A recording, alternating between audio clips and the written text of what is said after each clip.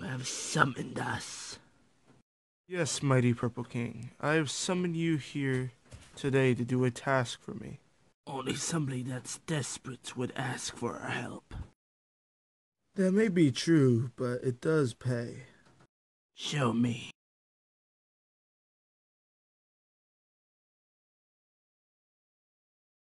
Hmm, what would you like, Blue King? A second will take it from here.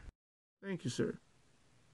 Some of our scouts have found that red plastic convoys have been going from our territory out to shipping docks. They are taking, using some of our raw materials and using it for their own army. So, we are asking you to stop this tyranny. Now, whatever you prevent, you could keep whatever raw plastic for yourself.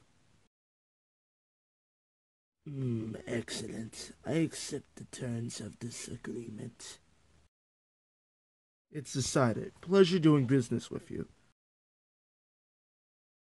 Pleasure's all mine.